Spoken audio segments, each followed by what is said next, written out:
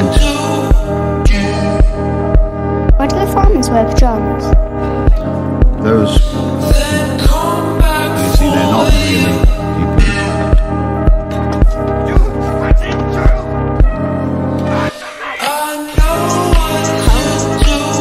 Because I'm a soldier. Soldiers fight wars. That isn't war! It's a part of it. It's a vital part of it.